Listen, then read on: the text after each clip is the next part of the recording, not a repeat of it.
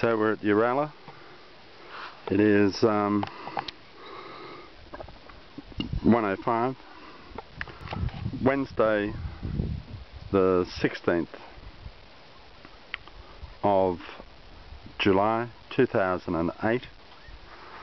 We have cloud to the southwest. Lots of high cirrus cloud we have spirals and swirls. We have lots of high alto stratus. We're at about nine, uh, about um, 1,033 meters above sea level,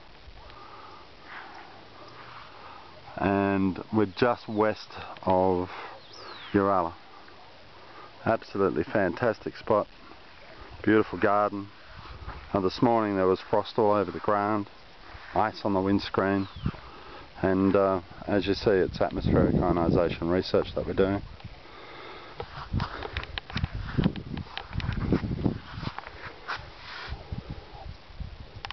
So enjoy.